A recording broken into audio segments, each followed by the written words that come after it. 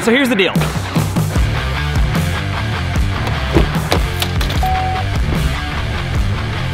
This is a one.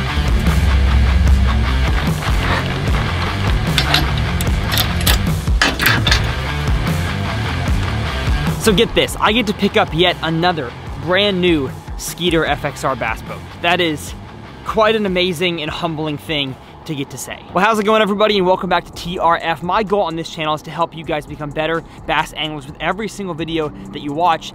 And probably the most important tool that I get to use in order to teach you guys how to become better bass anglers is this what you see behind me my Skeeter bass boat. Skeeter is one of the best boat manufacturing companies out there. They were the first company to ever believe, at least in my experience, uh, on a, on a big scale, and the power and influence that us YouTubers and social media people can have. And they brought me on three years ago. I was incredibly humbled. I, I talked about the, the process of joining the Skeeter Pro team in my podcast that I'll have linked below.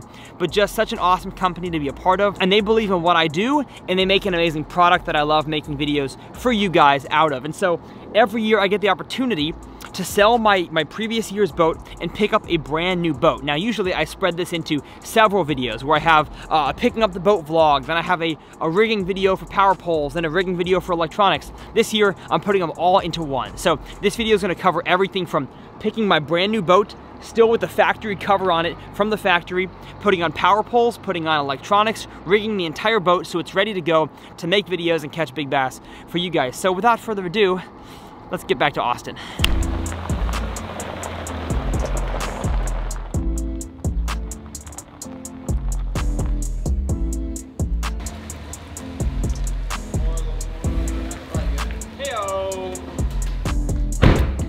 I was wrong, we're in Waco. So welcome to the first step in building my bass boat. The boat is bare of all basically necessities that you need to catch fish because you can't really dump this in the water and go catch fish right now. It has a main engine, so I guess I could technically get somewhere, but it doesn't have any batteries, so I can't even turn the engine on. It's basically missing everything. Uh, I'm with my buddy Alton Jones Jr. MLF angler, resident boat mechanic here in Waco, Texas, where we live. Uh, we're in his dad's shop right now, and we're going to be putting on a few things in this part of the video, and then I'm gonna head down to Austin, where I thought that I was going, to install the rest with my dad. Last year, we did all this in several videos, like I mentioned. Today, we're probably gonna put on the trolling motor and at least the live scope unit, and then figure out time-wise what else we have to do for today, but it'll just be a fun time of putting things on. So we have run into a predicament, folks. We open up the box, from uh, Minn Kota for my trolling motor, and we're missing a very important piece that you need to actually build this thing. So we're gonna try to figure out if we need to go to a trolling motor parts place, but I don't even know if they have one around here, or just skip this, save that for later, and do the power poles or something. I don't know. All right, good news, we found it. It was in the boat the whole time. Begin. in the box, it was in the boat. Begin the time lapse now.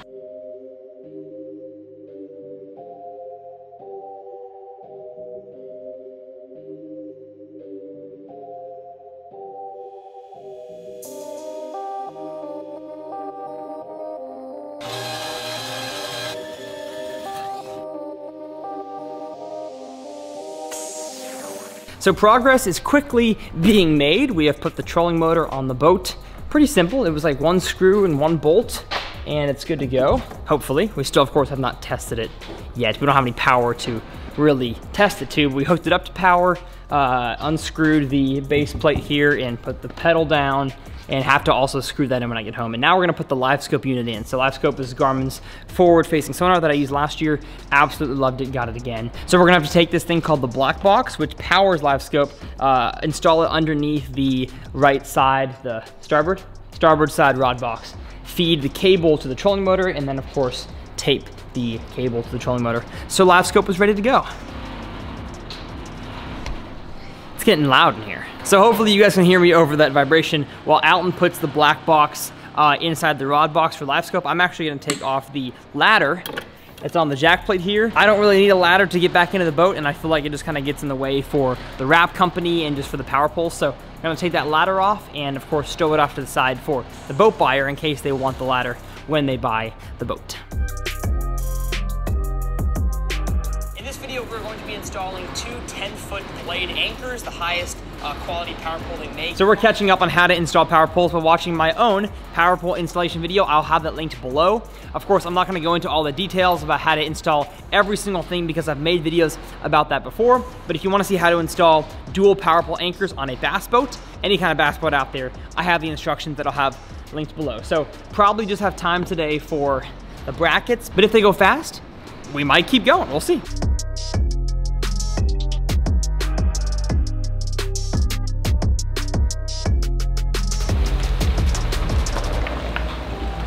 That's all she wrote for uh, this, not this episode, we're not done. This part of rigging. Now, we're gonna see y'all in Austin.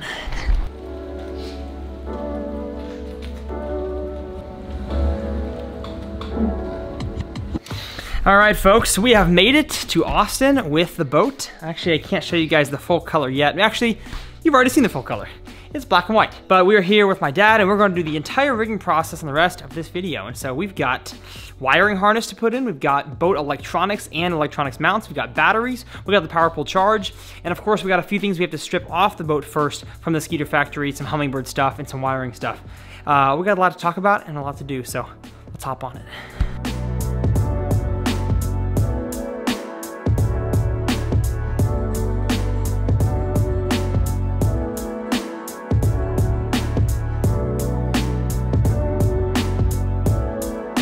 Now what you guys definitely did not see in that time lapse you're watching now is the two and a half hours of work that my dad and I put in to take out the Minn Kota four bank charger, put in the power pole charge system, figure out which wires go where. Of course, when you don't have any batteries in your boat, it can be confusing as to what your boat builder actually did with those wires or what the intent behind the wires are. And so we uh, we hooked up a wire that was confusing up in the, the front of the boat and a same colored wire that was confusing back here. Turns out it is a negative for the trolling motor. So we got all that stuff figured out. Uh, we have the four batteries put in. I'm working with Pro Guide batteries for this year. They are an incredible company that I've gotten to know uh, up in Missouri. They've got a ton of wisdom when it comes to building batteries and we have some really cool stuff coming soon. So right now I've just got three lead acid batteries uh, in the back and one AGM. I'm gonna be running an AGM battery all year, which of course is not lead or lithium. It's a kind of gel uh, substance on the inside and that battery is heavy. Getting that battery in the boat, that was a struggle. But it is one o'clock in the morning and so we're gonna call it a night and do the rest of this stuff tomorrow. It'll probably be about six to eight hours of work. Even though we've done it before, it's still a ton of work to get all this stuff in the boat. So we're gonna call it a night before we put on the Boat Logix mounts in the morning, the Sonar Pros wiring harness, and of course the power poles onto the back of the boat. So we'll see you guys in the morning.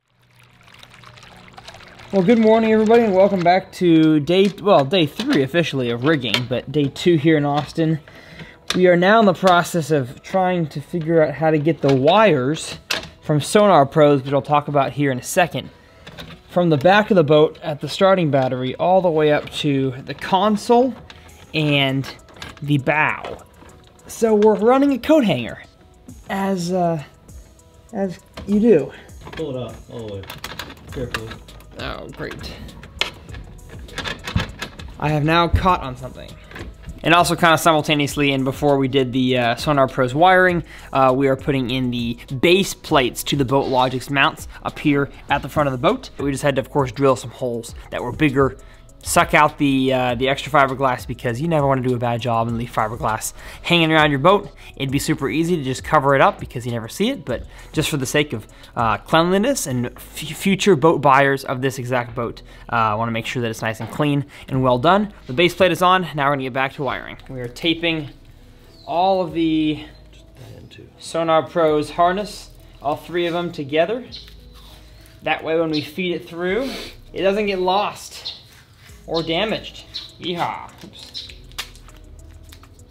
Got it. Now, what is the benefit of a wire harness and what is a wire harness? Well, the deal with electronics and everything on a fishing boat is that everything takes power. And of course, the more you use those things that need power, the more it takes power away from your batteries and of course causes those electronic uh, parts of your boat to not function as well because the, the amount of power they need to operate doesn't change, but the amount of power throughout the day does change because you keep using that power. And so I had issues with not just Pearl, our, our family boat back in the day, with some old Lowrance units, but also my last two boats running Humminbird Graph because they draw so much power every single time that they're being used. So when I would crank the engine, the graphs would restart almost every single time. That's just a huge hassle. And so I got in touch with Sonar Pros. They make a custom thick gauge wire harness that goes basically from the main battery in the back comes up to each individual thing that needs power. So the graphs, the LiveScope box,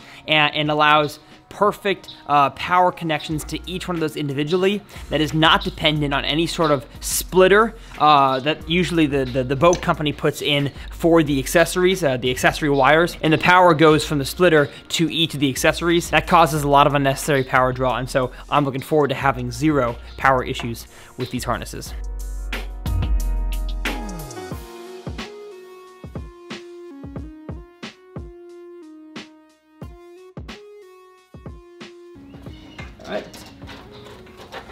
Top of the flange. Uh oh. Okay, we're good. Let's go a little slower. Okay. Go a little slower, amigo. Okay. Okay, chill, chill. Okay, I got this one. Okay. He's got some cord. Genius. Big brain over there in my dad. Tying strings together. Okay, well, we're just, uh, I was gonna do a time lapse, but we're just gonna tell you that we're putting the wires all the way through from the back.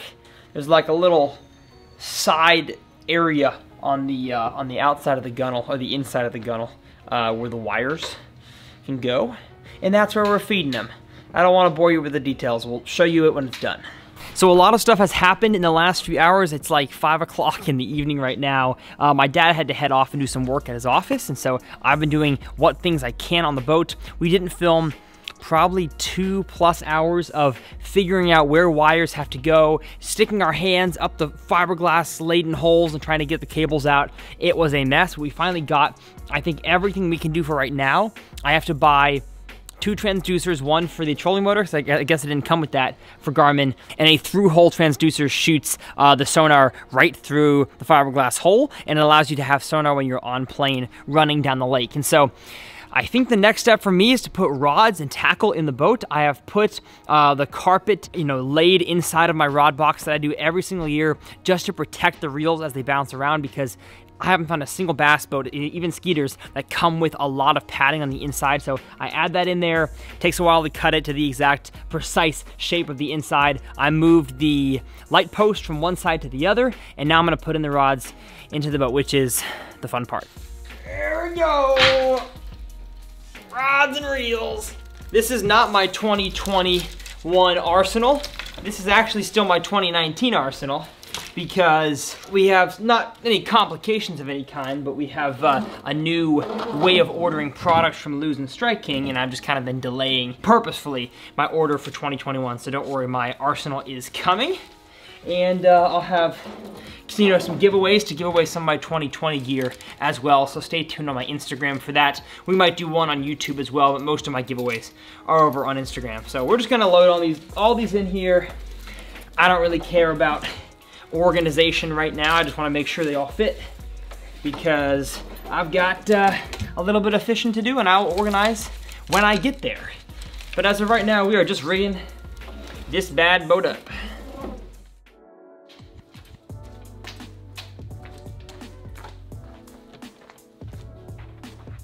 All right.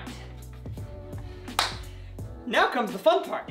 So these things right here are the Power Pole blades, one of the coolest, if not the coolest innovation that I've had on my boat the last really five or six years that I've bass fished. And uh, they are basically a hydraulic shallow water anchor. These reach to about nine, nine and a half feet deep, even though they say 10 feet, they only reach to nine, nine and a half. And they anchor you to the bottom when you're fishing in shallow water. Incredibly useful around docks, shallow grass, you know, fishing around shallow wood, that kind of stuff. I use my power poles every time I dock the boat, every time I put it on the trailer or, or get ready to put it on the trailer, I'm using these pieces of equipment. And these are the uh, hydraulic pumps that allow this to go up and down, as you'll see here in a second. Now, I'm not gonna show you guys every step of installing these because I've made like two videos on that, and so I'll have both of them linked below.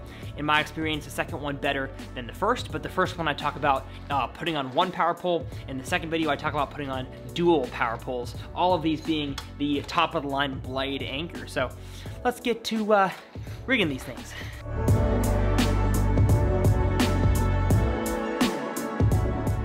Well, everybody, that is uh, most of the video. We're gonna have a little bit more tomorrow morning. We have to hook the power pole hydraulic lines up to uh, the pumps that are in there. We got all the batteries figured out. Uh, we currently can't figure out how to get the hydraulic jack plate to go up and down, but you know what? We're gonna figure it out in the morning, uh, or I guess later on today, because it's 1.30 in the morning. But We are tired, and we're gonna get some sleep. Come back out here and have what went from a rowboat to a fully rigged professional tour series bass boat in under two days. So, a lot of work, but it's all for you guys. Well, good morning, everybody. We are back in the boat. I'm tired. I got to sleep in though, which was nice, but uh, the power poles are all fully done. They're all bled, as you call it, to get the air out. They go up and down.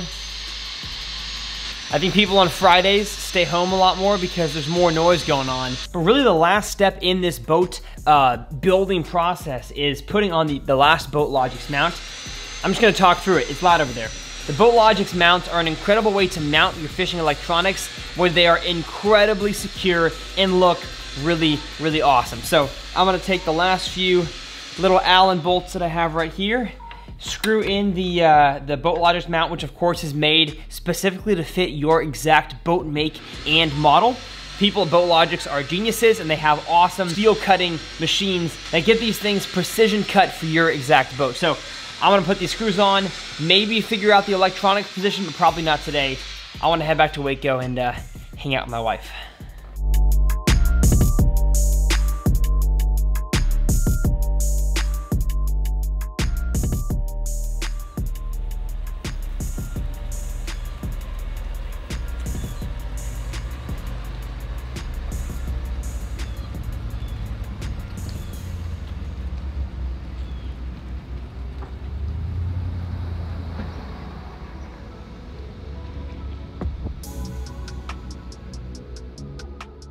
It always takes a few days for the power poles to kind of get aligned with each other, so that's why that one was slow to come up. But this video is done.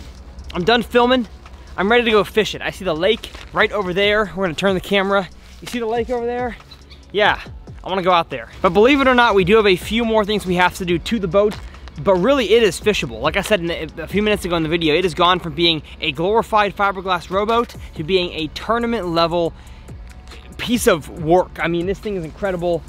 It doesn't take a monkey to see that this boat is beautiful. And of course now it has all the necessary things on there that I need besides a few miscellaneous accessories to be a successful bass fisherman for you guys. Because of course my goal is to catch more fish. And so could I do all this?